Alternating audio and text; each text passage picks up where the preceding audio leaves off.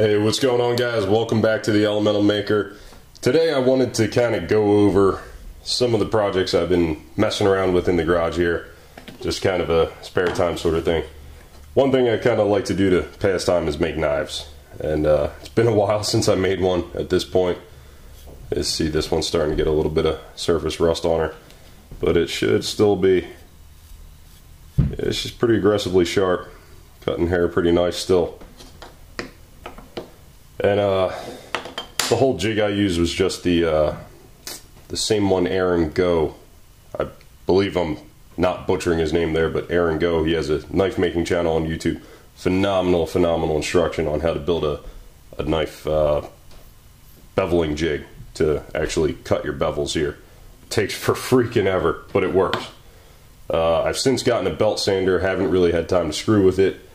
But one thing I really wanted to do was test out some new scale making techniques.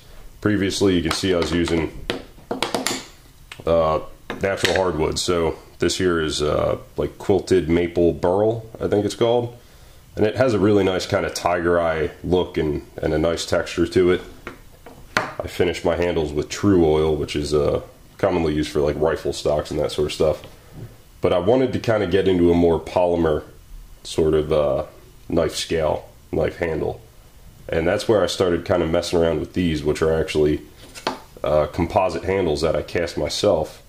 I saw this guy on YouTube, I think, uh, or uh, Instagram rather, who, who, sells these awesome, awesome knife scales. Uh, but they're crazy expensive. So I kind of wanted to give it a shot making my own, and I think I replicated what he sells really, really nicely. So today I just kind of wanted to show you guys how I'm doing that and uh, and mess around with it. Now I have this, I have a couple knives here. So this is a nice Damascus blade that I purchased online. They're they're pretty darn pricey to buy an actual good one, but uh, I think this is going to be what I end up putting some of these scales on. So I think that'll look pretty darn cool. Let's uh, if I could line it up correctly here. Let's see. You kind of get an idea what that might look like once I actually get a scale on there. Pin it and I'll definitely have to epoxy the back. You can see here where I use these honeycomb aluminum structures. It uh, These things have a tendency to kind of push out. So once it's actually epoxied on the back, everything will be fully secured in there. But uh, let's go ahead and actually cast one of these suckers so you can see what goes into making one of these. I think it's pretty cool. A bit of dicking around in the shop. So to actually make these knife scales, you're going to need a few different materials. I kind of go for a red gold look. So I found these pigments on Amazon. Uh, they're called Pearl Ex. They're really popular with a lot of uh, guys who turn like pen blanks and that sort of stuff. They use this stuff for casting all the time. So I do the uh, Pearl Ex Super Russet and the Aztec Gold. In addition to that, the actual resin I'm pouring is a Silmar 40. Silmar? Yeah, similar. Silmar 41 clear casting polyester resin. Uh, there's probably better stuff out there. I didn't really research that a whole lot. I know a lot of guys use this stuff, and it has a pretty good reputation. Uh, there's other, instead of polyester resins, where you add the uh, methyl ethyl ketone peroxide. It's actually an organic peroxide, so this is a small amount of MEKP, methyl ethyl ketone peroxide, mixed into normal methyl ethyl ketone. Uh, otherwise, it would be a pretty powerful high explosive, actually. So, I've, I've been told that if you shake this stuff and you kind of see bubbles frothing, that's how you know it's still good. I don't know quite how accurate that is, but and they say if uh, if you shake it and it the bubbles just go away, kind of like water or vodka, you know it's bad. Uh, so this is telling me, hopefully my catalyst here is still good. Now, the uh, Silmar 41 I have here, apparently this stuff only has a shelf life of three months. I bought this all the way back in 2014, towards the end of 2014, but 2014 nonetheless. It is now 2018 so this stuff is well, well outside of its uh, intended use. but I tested, I did a few test batches. It still cures perfectly fine. Haven't had any issues with that. So the last part here is this little nylon block that I made. I, I just bought a bunch of uh, nylon, I think it's half inch, off uh, eBay for another project actually. And this stuff un unfortunately came in a bit cockeyed. It was pretty warped. And the seller was doing the usual eBay dickery and uh, refusing to send me a new piece without me paying for return shipping and all that bull. So I just figured, you know what, hell with it, I'll use it for a project at some point. And sure enough, I found this use for it. Had just enough material to make this little mold, but uh, it works like a charm. A couple other things I forgot to mention. Uh, this stuff here. This is aluminum honeycomb. Check that out. That is some cool stuff. Uh, I would love to know what kind of process they use to make it. I've just been too lazy to Google it, but I don't know. Would it be some kind of extrusion or yeah, shit like that's fascinating. But anyway, so what I'm going to do here is cut out a couple little pieces, pressing straight through it with a razor blade, piece by piece. So each little wall there, I'll kind of just do random patterns. Um, the only other thing you're going to need is some carnauba wax. I'm a car guy, so I always have a big jar of carnauba wax. I just put a little aside in this tiny jar here get it out. Um, there's tons of other mold release agents you can use too. People I know use uh, silicone sprays and all that sort of stuff. This is just kind of what I had around and so the first thing I'm going to do is just cut some kind of random shapes out. It's a bit of a labor intensive process, pain in the ass. I'll go in there nicely. So to mix the resin, we're gonna get this old bottle open, which is goddamn near impossible. God, struggle's real. There we go. Whew, victory. Oh, it smells like ass. By ass, I mean styrene monomer.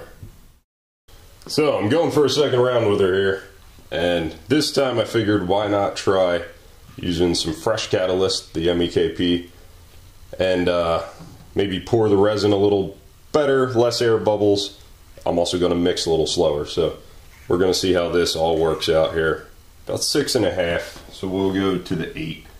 That means we need two and a half cc's with 1% MEKP. So I think the last uh, Last pour there, we are probably well above that. Son of a bitch. I got syringes here.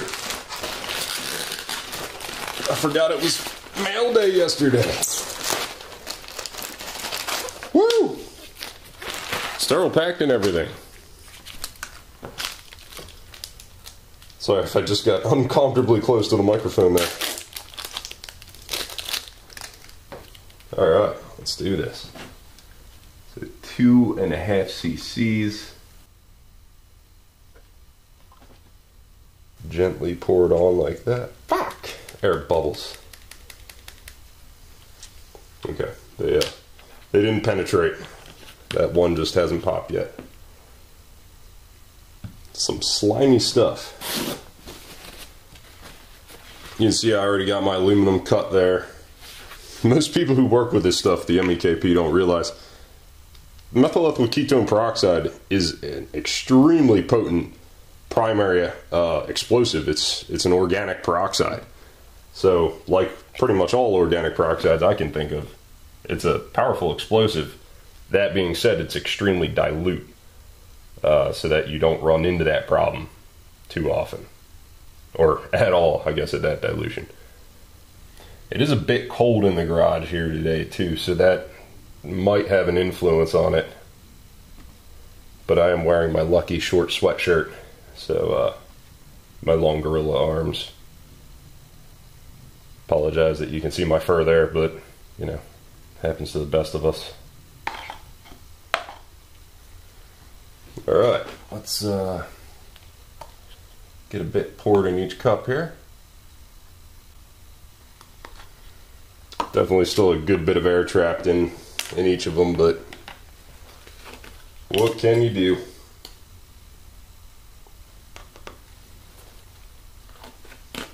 What can you do? Was my uh, Gerard Butler impression.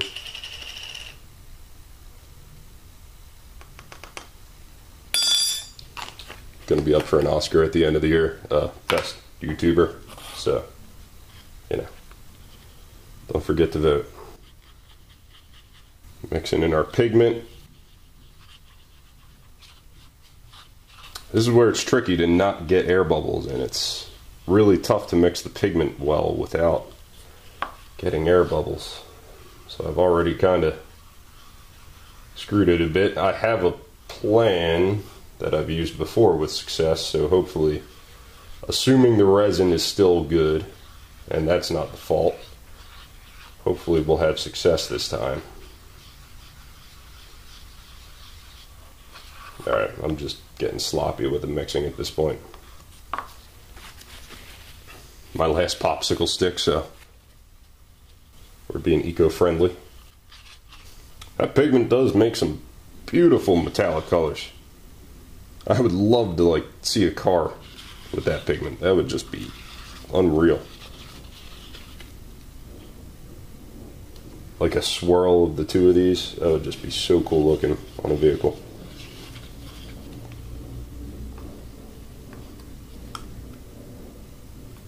So to help our cause this time around, I changed things up. I got the Makita and this horrific contraption and uh, what that's going to do is act as a vibrator. Now, I know some of you might be saying, Bob, that isn't an optimal vibrator, this, that. Well, sorry guys, I'm not a vibrator expert.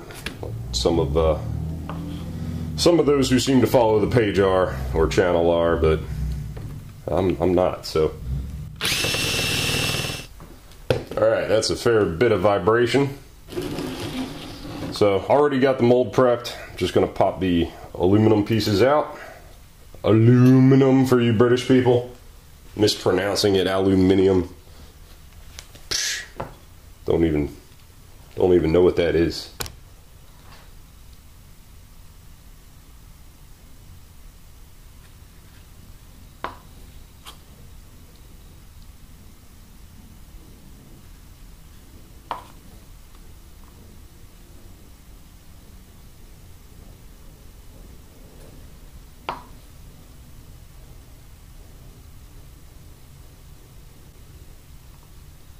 So the pigments this go around look a little bit lighter. Uh, I didn't add quite as much to the resin as before.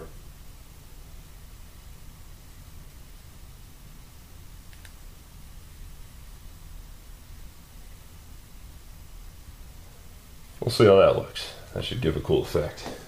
Way more resin than I needed.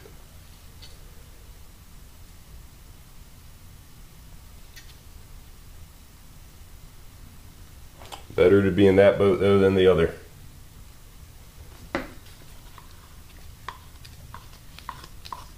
Let's give these a tap down. Alright, good. So they are just submerged. Which is what I'm looking for. That way we won't have to mill so much off. And now, let's show her our vibrator.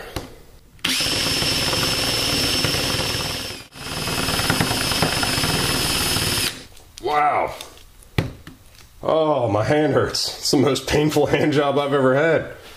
Jeez. That's brutal.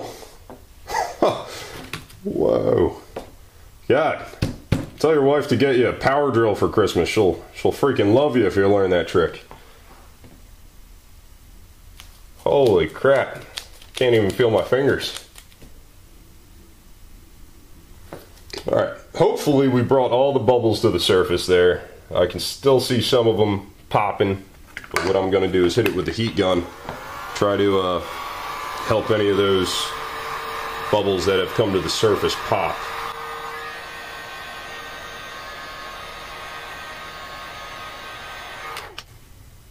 Cool. All right. Might give it one more hit with the vibrator.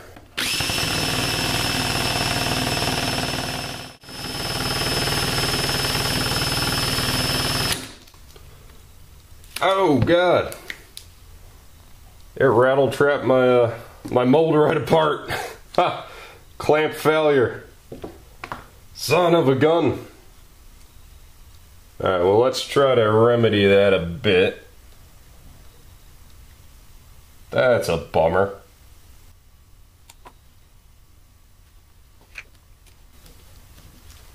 the vibration rattled my uh, my clamp open. Jesus. It never ends with this project. The first four or so of these I made went flawlessly as soon as I go to record it. Boom! With every problem known to man.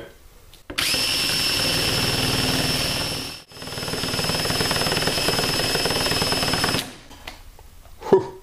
Lost all feeling in my hands and forearms at this point. Bubbles. Looks like the resin just from the vibrating there kind of intermixed nicely. So I'm going to leave it at that.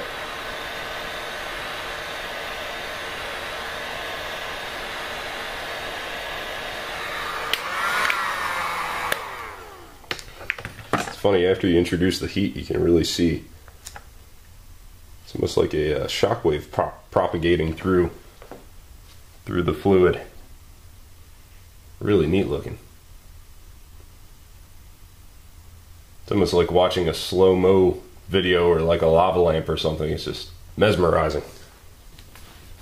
All right, we're gonna let that one sit now before I screw it up further. And uh, we'll mill it, see how it turns out.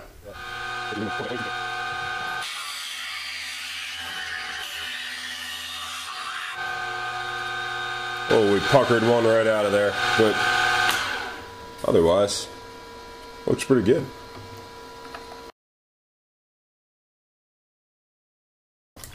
Turned out beautiful. No, no pockets of any sort. No, little bit of chipping on the edge here, but I think that was from the earlier runs.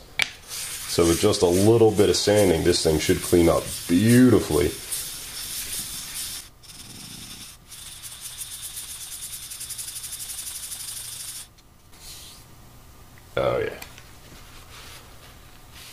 That's an awesome, awesome knife scale.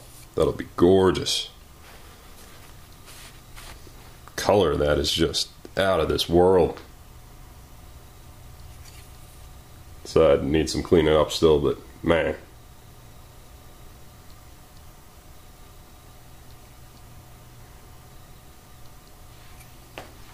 Absolutely cool. Love this stuff. I might actually just throw the back on the face mill for a minute just to get through that surface layer that's kind of not so bright. That looks great though. Really good.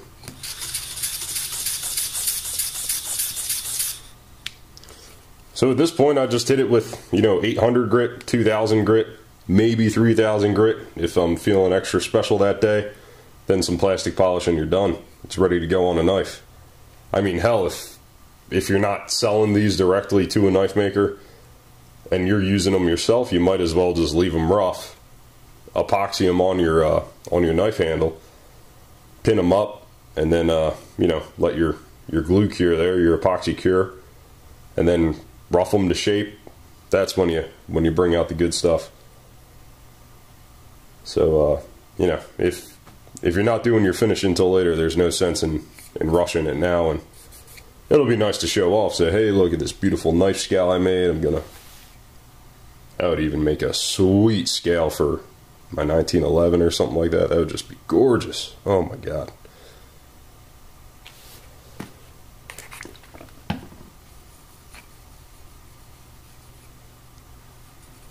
That'll make somebody smile though. Beautiful. So that's all there is to it. If you want to make some awesome homemade knife scales, uh, I actually had ended up ordering this clear cast. A lot of people rave about this stuff. They say it's great for doing this exact kind of work. and it's a little easier. Uh, you don't have to mix the catalyst and all that. You just have two part epoxy. It's a two to one ratio. There's less that can go wrong than with a uh, an oxidizer or a organic peroxide based uh, catalyzing resin there, like the uh, Silmar 41 is. So I'll leave a link to both of those if I don't know. I think you can find the Silmar 41 on eBay. I know this one's on Amazon. Uh, at least I'm pretty sure I got that on Amazon. and uh, the honeycomb, I'm not really sure where the heck to get that. Someone probably sells it on eBay or Amazon. If I can find it, I'll leave you guys a link. And uh, just get yourself an X-Acto blade and you'll be off and running. I guess you got to make the mold too. You can make your own mold or uh, this was a mold I received some time ago. I forget. No idea who makes it. It was just a little too big and not long enough. So I never ended up using this mold, but you could easily use a generic off-the-shelf mold like this too to make your blanks, and it would be no problem. You might just use a little more resin. But if you're doing thin knives, the cool thing is you could uh, pour one blank, cut it down the middle, and there you go. You have your uh, your two knife scales in one shot, one pour. So that'd be pretty nice there as well. Or you could pour thicker and uh, possibly book match them. I don't know how this would cut through a bandsaw. I've never cut it through a bandsaw. But that would look pretty darn cool if you had butch book matched sets.